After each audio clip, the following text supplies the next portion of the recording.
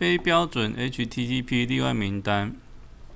那我们这边的设定是说，你可以去设定说哪一些 IP，我们去做一个例外 IP 这样子的动作。当你内部有在传送封包是它的 header 并没有包含 HTTP 的格式的话，那它就不会被我们记录在里面这样子。